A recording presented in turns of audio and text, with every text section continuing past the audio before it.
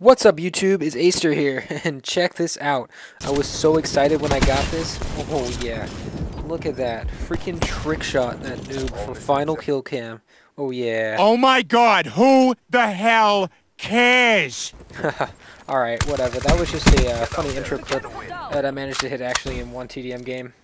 Everybody else was sniping, and I'm like, whatever, I'm gonna go for some sort of shot, I guess. I don't know.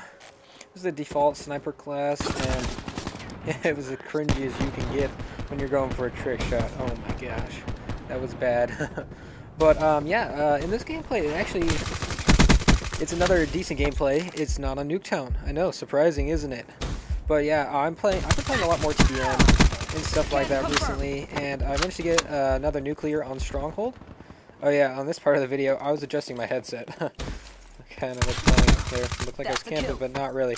Uh, but yeah, um, got a nuclear on Stronghold. It, They're it gone. was uh, it wasn't that bad of a nuclear. I almost died a couple times, but I mean, I still managed to get it.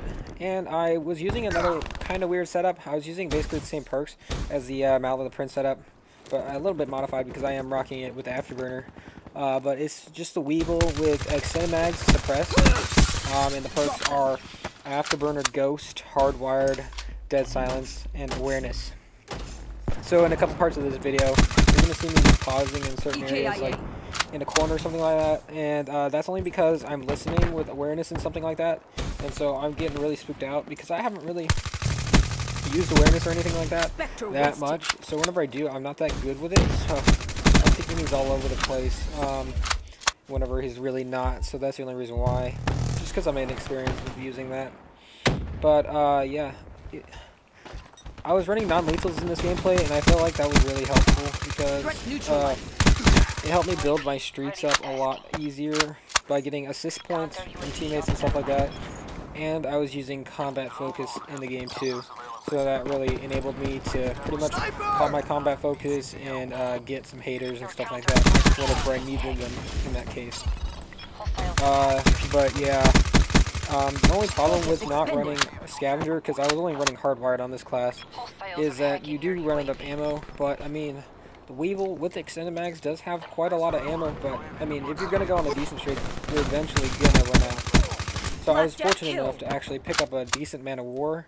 I think it, it was only with quick draw and a reflex sight on it, but I mean, it still did the job of what I needed it to do, so I really relied on that towards the end of this uh, gun streak. I think I only had a 31 gun streak because the game literally just ended as soon as I got it, so I got really lucky with it on timing wise, but I still managed to pull it out.